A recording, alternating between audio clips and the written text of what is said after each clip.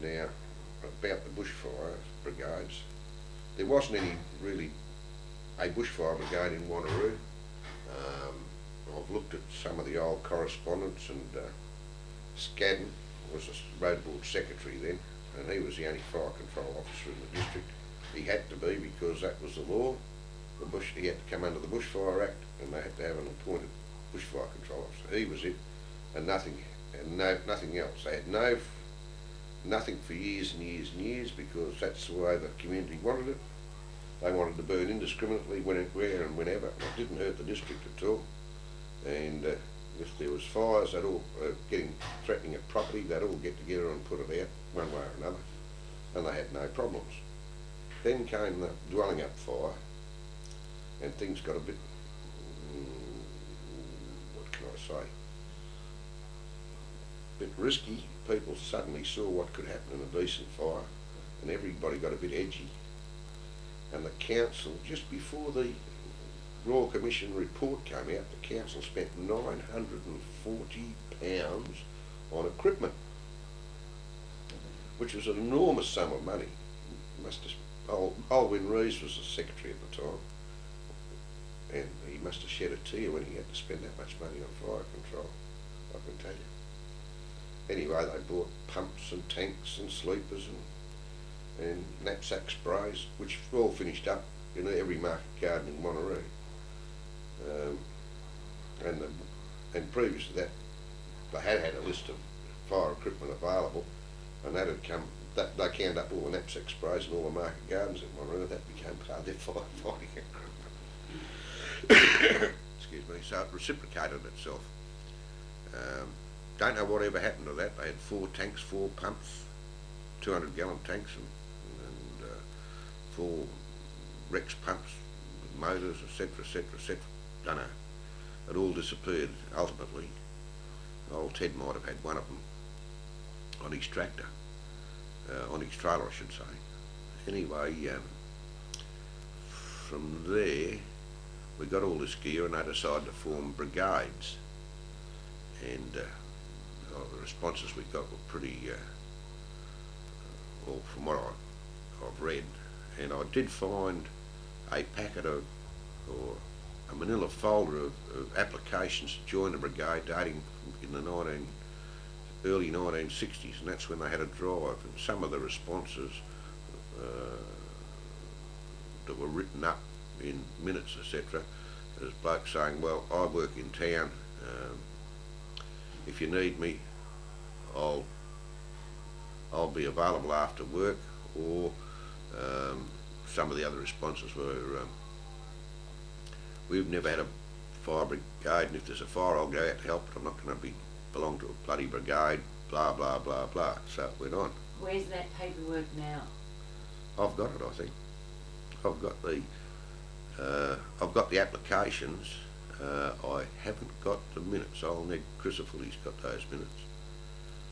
Um, but, uh, and that was that. So they formed four brigades central, south, uh, central, east, central, west, uh, south, oh no, and the North Brigade and another brigade uh, at um, Sorrento, Marmion Sorrento.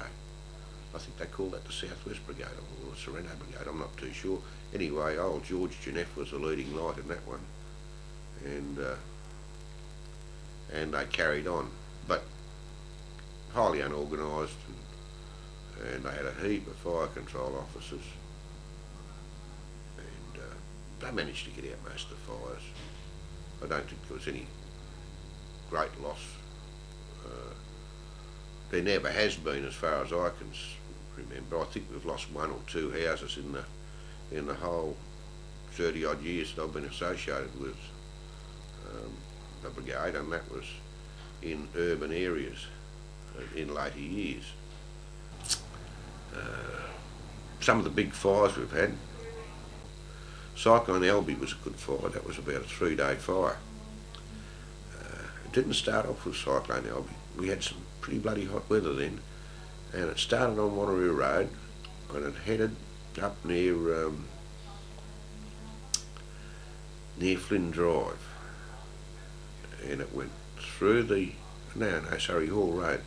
It went through um, through the national park and headed was heading south with uh, a northeasterly wind behind it, and then it headed and it was coming down the side of Neerabup National Park, and uh, we'd previously burnt out a section of Hall's land between the, or adjacent to the National Park, and we thought we'd stop the damn thing, but we couldn't, and it got through, and then it did a, a, a 90 degree turn with the wind change, and headed up the coast, up towards Quinn's Rocks, and there was panic stations then because.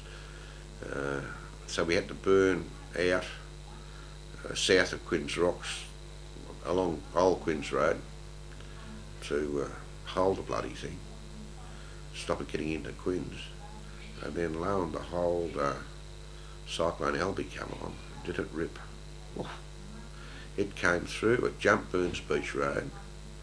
Burns Beach Road was that, the fire was that hot that all the shrubs on the side of the road left a like a, sh- a burnt shadow in the road.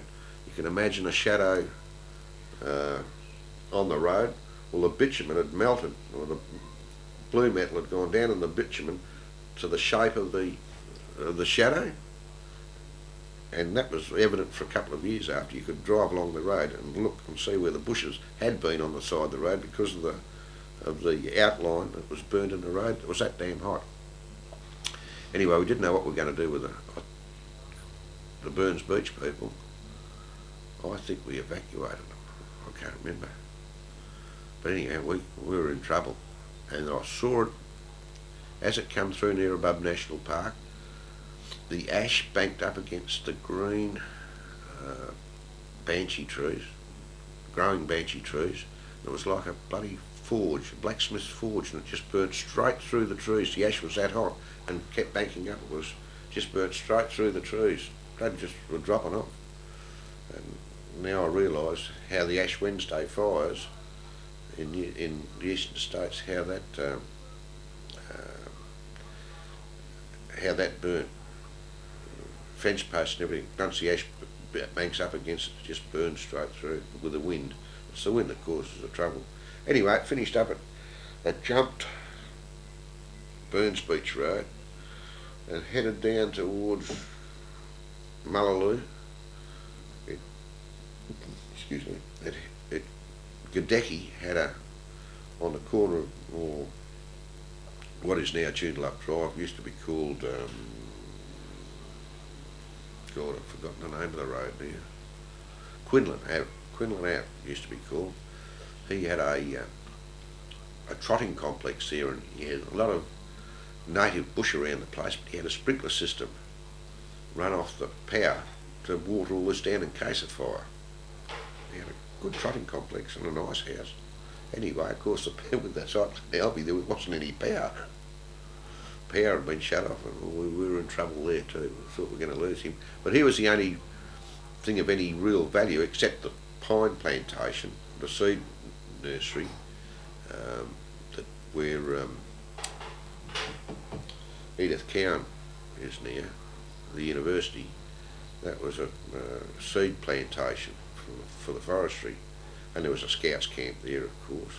They were the only couple of things there, and uh, we managed to get it out before it got to Mullaloo.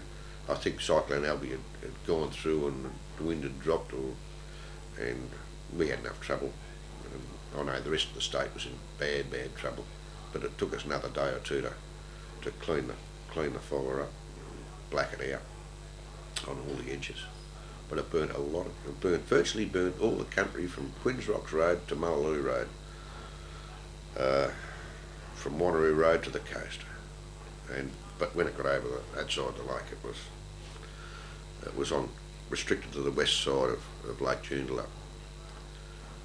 She was a beauty, that one. Uh, another one. I had a fire. That's before all the suburbs of uh, Connolly and all that. Oh yeah, yeah. This is going right back. Now Cyclone Alby Day.